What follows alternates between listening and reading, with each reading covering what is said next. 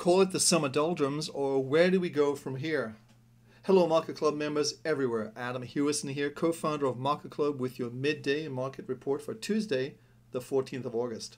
At the moment, there appears to be a lack of conviction by both the bulls and the bears to move this market one way or another. This indecision has also registered with our trade triangle technology, with many of the major markets now indicating a sideways to mixed trend. It's been this way for quite some time. I think it's wearing a lot of traders and investors down. Normally, when you have indecision like we are witnessing right now in the markets, they are usually preparing for some big moves later in the year. The big moves may begin after Labor Day when many traders and investors return from this summer hiatus. Also, it is noted that volumes have been extremely light in many of the major markets, which underscores the lack of participation by both the public and professional traders. We're also going to be looking at a buy and hold strategy today, comparing it to our trade triangle technology. It's on a major stock that everyone knows, and the results may surprise you. We're also going to be looking at two new media stocks that look to be on the skids. Now let's go to the charts and our trade triangles and see what's happening in the market. So here we are at my home page as normal. We're going to go right to my portfolio. And starting with the S&P 500, you can see pretty much it's the 70 all of these markets, there's only one strong trend that's copper. Everything else is the mid 60s, 70s, mid 55s, nothing going on really. And that's the indecision we talked about earlier today. So let's scope this in a little bit closer. And, excuse me. And let's just see what's going on. Here we are. the one thing that stands out to me today, excuse me, I must take a drink of water.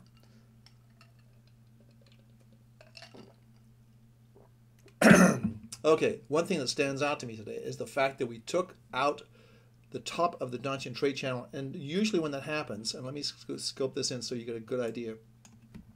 Normally when that happens, you're going to see this situation where you come back in the market like here, here, here, here, here, and we just went out of it today. So normally you have this move out, it comes back in,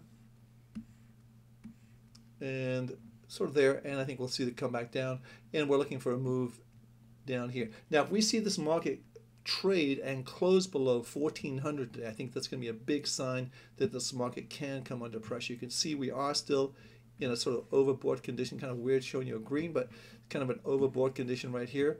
And I think we could see this market pull back down to the, I think the 1370, which is the midpoint, which is we did here, here, here, and here.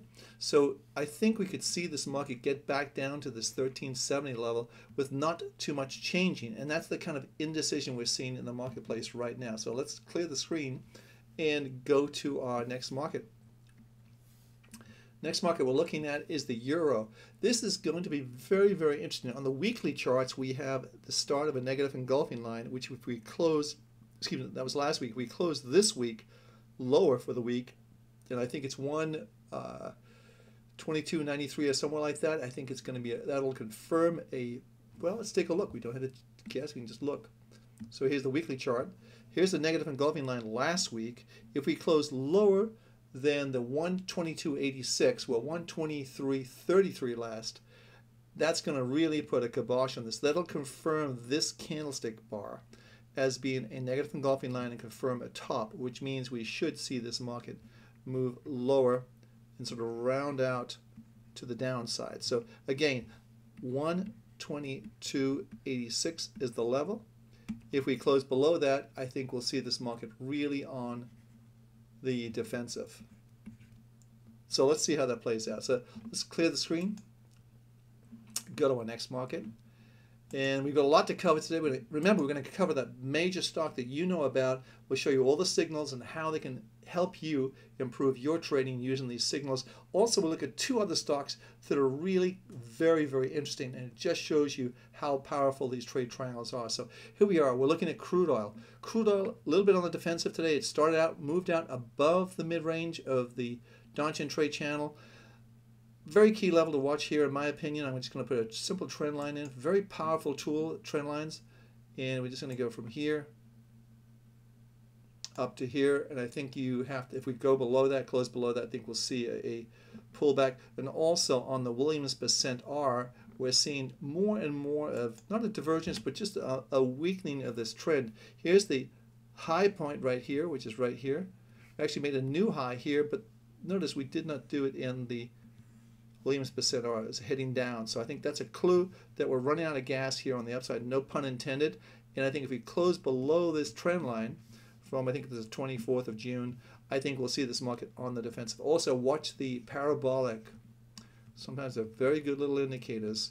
You can see here we came in, boom, that's a parabolic hit right there, pushed the market up. And now watch that on the downside because the major trend in crude oil is still down. So let's pay attention to that market this week. Let's clear the screen. Go to our next market. Next market is going to be the Dow. Same thing there. Key level to watch, in my opinion, today is going to be the 13,094 level, which is yesterday's opening level. If we close below that today, certainly it's going to be really on the defensive. However, the market is up right now 22 points. It may not do it, but if we close below that, we've got about another well, the market would have to go down 100 points from here for this to happen. Hey, we've had some big 200 point days. It's not unheard of. So let's see how that plays out for the rest of the day. Looking at the Forex, this is the gold spot price. Again, this is looking very, very negative today. Uh, we were looking for a pullback. This is the weekly chart again. We were looking for a pullback. I think if we've got this market on the run, on the downside, I think we could very easily see it go down to the lower levels of its Donchian trade channel. If we scope this out just a little bit more, you'll get, see where, I, where we're talking about. Here's the midpoint, and I think we could see this market pull back down. So we've sort of had the move down. If you just look at this just on a just a visual, you can see. So we had the move down like this, and we've really just sort of gone sideways. We really sort of tightened it up here, but we've just sort of gone sideways here. So we haven't really done anything dramatic. So I would not be surprised. I mean, the bears and the bulls certainly the bulls have to be disappointed that this market is not, with all the problems we have in Europe, all the problems we have in slowdowns, I think it's telling you people aren't concerned about it, and which is a big surprise to a lot of bulls in this market. So let's go to our next market. In fact, let's just look, before we do that, let's just a quick look at the daily chart on gold. And as you can see right now, we've gone below the, uh, the very simple parabolic, uh, very nice little simple indicator, but you can see right there that just went there below there today. And it's 1602 trading right now in the spot market. We've been as low as 1591, so we've rounded about $10 from the lows. And I think really we're going to see this market probably chop around for a little bit, but you can see it's just a very choppy, indecisive market. Very difficult for most traders to get their arms around this unless you're really on top of it, sitting in front of the screen, and you have super access to the markets. So let's go to the next market. This is the NASDAQ. NASDAQ is looking a little bit heavy, just moved outside of the Donchian trade channel. You see how, let's go that a little bit closer. So you can see how just tipped outside of the Donchian trade channel. If it closes lower today, and I certainly, when I say lower, if it closes below the 2,999, let's say the 3,000 level, uh, that would be not good. But I think more importantly, if it closes below 3,018, which is the opening yesterday, I think that's going to put a lot of people nervous on this market. So let's see how that plays out. Copper is another story. We had the big down day yesterday. It's really not going anywhere today. We still are negative on this market. This tends to be, a, I think, a harbinger of things to come. The slowdown in Europe, slowdown in Japan, and also in China and most of Asia. I think we'll see this market just gradually erode down to the 330 level, which is the lower level of the Donchian trade channel. We're not quite well, we are, I should say, not quite. We are oversold, but again, the volume has been very, very light on this this pullback. So, not too much to get excited about there, but the trend clearly, or the minus 100 is on the downside. So let's take a look at our next market, and that's going to be silver. You know, let's bag silver because there's not much going on there. There's other markets I want to talk about that are more interesting. Here's the Reuters Jefferies CRB index. Again, we talked about this. Let's scope that out to a six-month chart.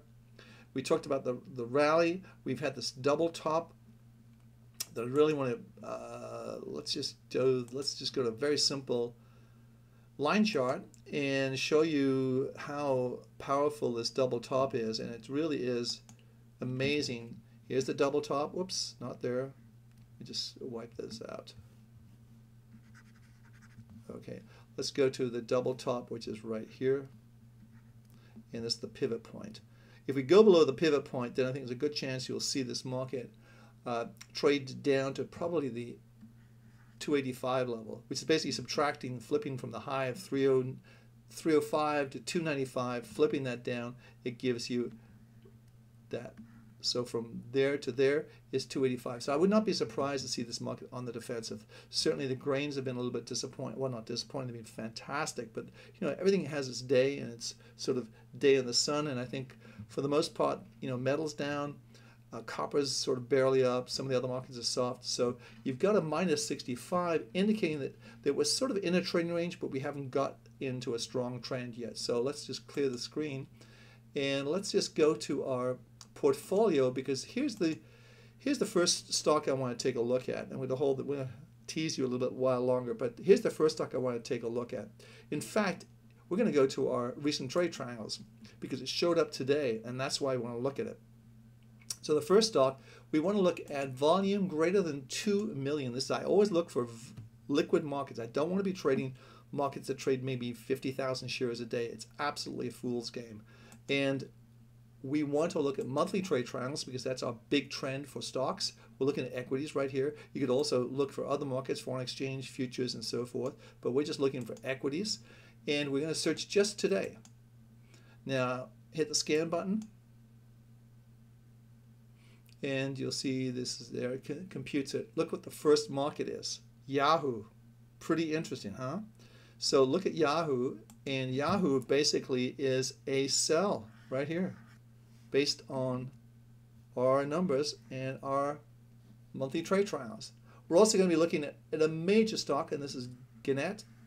Okay, these other markets that are trading like 13 cents, cut those out. You don't need to look at those. They're just just too too small. So anything over, let's say ten dollars, you definitely want to be looking at. So you can look at the Saks. Obviously, that's a buy today. Halliburton also a buy today. Gannett also a buy today. Also a sell is this market right here, Yahoo, which is really pretty interesting. So let's close everything off. And let's take a quick look at Yahoo. And we'll see where that thing came in today, where the sell signal came in. Actually, if you hover over here, it tells you the red monthly came in at 1480 and it's currently trading at 1480, 1479 to be exact. So let's just click on the little blue box, which gives you the chart. And here's the chart coming up and you'll see the trade triangles will come right in and uh, there it is right there boom look at this it's way way that's not a good sign for yahoo and that and the new president they have there. This is you know what happens it's kind of like what happens with something when they lose their mojo. Their, their, their the mystique it's sort of the yahoo mystique has sort of gone out of the markets now. They've been around for a long time. Yes they get a ton of traffic but there's something that's just not appealing to people. It's kind of like, well, the kids want to look at, let's say the kids, the young people, I should say, want to look at other stuff that's cool. And speaking of this, I did notice that another major stock, which was very cool, very coveted by investors, is down the toilet today. It's down about 25%. Now let's just go to back to our portfolio. I'll show you what that is. So we're going to put a stock in. It's easy to do. Just click on here. And we're just going to type in Groupon. And there it is. And we just to double click on that.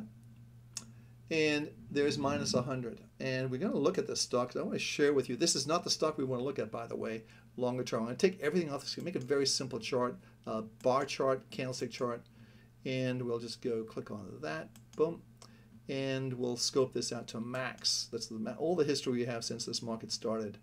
And we'll just say, okay, where did our monthly trade triangle come in? Well, here it came in right here at 1721. 1721. That's on March 8th, after we had enough data to, to analyze this market. You can't trade these markets off the get go when they first come out because there's just too much of a crapshoot. So here it is March 8th, 1721, currently trading at 557. So 1721 to 557 almost $12 profit on a short sale or saving you from a disaster. This market is down today 27%. That's a huge amount of money. I don't care who it is. So it just shows you these fads, these social networking fads, all these things, if they're no good, they're going to go down. And that's the key thing to look at. Just go with what the market's telling you because this market is true to what the smart money is doing. When the trade triangles kicked in on March 8th, it said get out, get out, get out, or get short, but do not be long. So there's the there's the proof in the pudding. Now we're going to go back to our trade triangles and show you the other stock we talked about, and that's a well-known Gannett, well-known media company. So what is this? The rise of the old media versus the new? Yahoo's sell signal Gannett is a buy. So let's just take a look at that chart. And we're going to analyze this one, and I promise you we're going to analyze this market in detail so you get a good idea of where things are. Okay, so I'm going to go max, which is the maximum we have on this. so the first signal you can see is here, and that's 79.75. I'm, I've written everything down. I'm just going to put them in for you. So here's the first one. And let me just get my pencil. There it is. So the first signal was 79.75. That was exit. That means just get out and get short. This signal here was a buy because it's a green monthly trade triangle. And that was at 57.27. Okay, so the market goes up, we exit, okay, 57.46 for a profit of plus 0.19. Not exactly thrilling, but the important thing is look what you missed boom, you missed this huge down move from 57.46 to the next buy point, because it's green, there's the green. The next buy point came in at $5.83. So can you imagine? You would have sat through a $52 loss if you were holding this. As a buy and hold is a disaster in these markets, but you would have sat through a $52 loss, whereas you would have bought at 583, you'd be out at 13.93, okay? And that was a plus $8.10. Pretty nice on a $5 share, $5 stock. That's pretty good. So you would have got out, you would have got back in the market here, and that was at 1440 and I'm going to show you a loss because they're not all winners 1440 and you'd be out here at 1426 okay so you would have lost 14 cents plus commissions. Not, not too much, not too to worry about, but you also had a buy here at this point, and this was on December 5th of 2011, and that was at 1240, and you would have gotten out here at 1348, and that was for a profit of a dollar eight.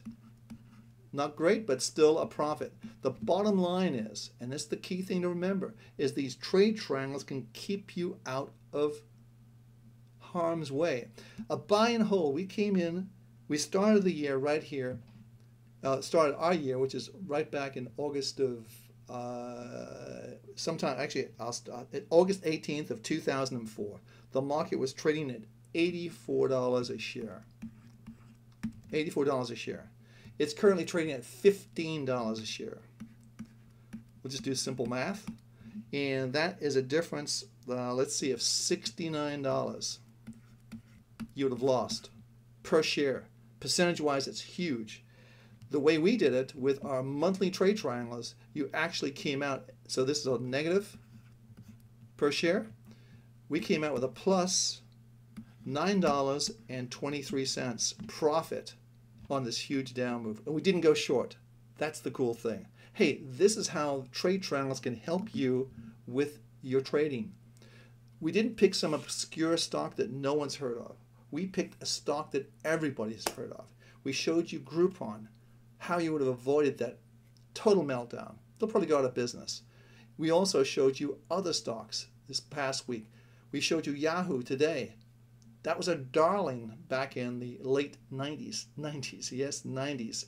And now it's like uh, uh, nobody wants to do it. Nobody wants to touch it. it. Has all these great assets, but hey, it's it's just not doing it. Is the same thing going to happen to Facebook? It may have almost a billion users, or whatever the number is, But the reality is, can they make money and sustain making money? Or is the youth of today suddenly going to say, oh, something else is cool is coming along? There's other things in the work. That's what's so dynamic about the internet and internet businesses. Unless you snooze, you lose in these markets. And I think that's the key thing. So, Adam Hewison from Market Club, thanks for stopping by. Every success. And remember, if you're looking for one on one Market Club coaching, give us a call. Okay? Hey, I'll be back tomorrow. Let's see how these markets trade. And Let's see how the markets close today. It could be very, very interesting today to see how these markets close. I'm betting that they're going to close on the negative side, even though they're plus right now. So we'll see what happens. Adam Hewison for Market Club. I'll see you tomorrow. Have a great day trading.